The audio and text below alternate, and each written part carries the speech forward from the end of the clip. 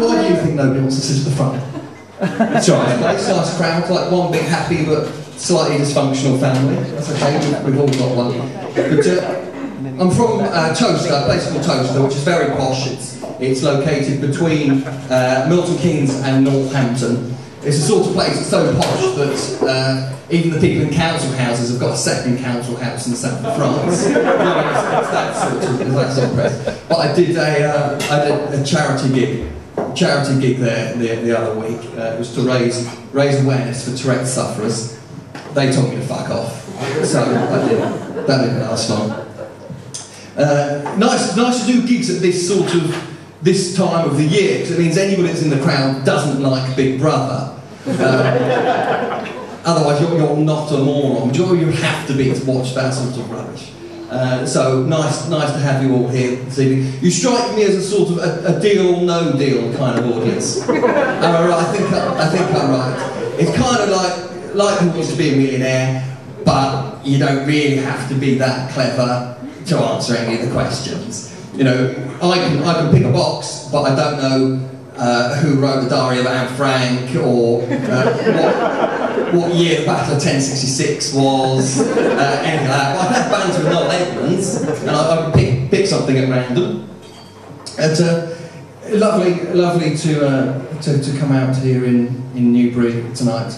Um, I am the reason I, partly I, I like Deal or No Deal is um, it started to take over my life.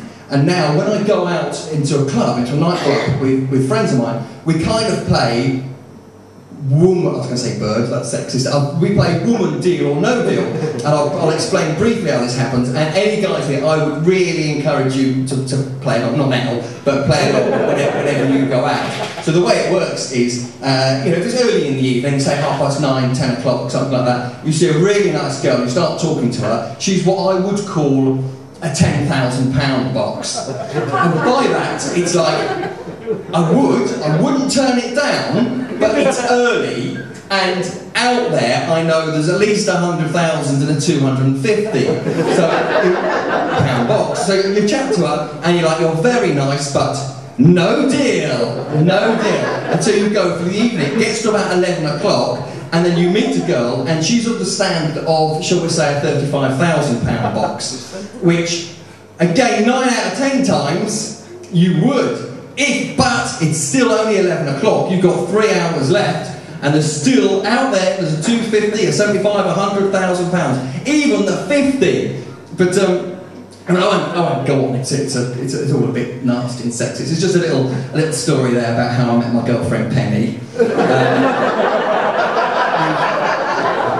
Um, um, um, I haven't got a girlfriend. I don't need one. I've got Sky Plus. I never never need leave the house. I only ever leave the house to come and do this thing. But no, the reason I like Deal No Deal is because it's the game show for thick people. And I, I am thick. I'm the first to.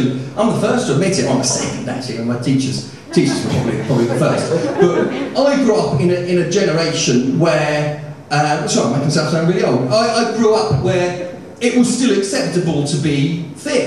I've got, I've got a seven-year-old son now. Uh, he's a big lad, gets that from his mother. Um, oh, that's wife jokes. Make a, a mental note, mental note to self. Um, and so when I go to his parents' evenings, uh, they're, not allowed to be thick anymore. So you go to the parents' evening, you sit there, they have, they have laptop computers, PowerPoint presentations, graphs, bar charts. These people know more about your kids than you do. When, when my parents used to go uh, to my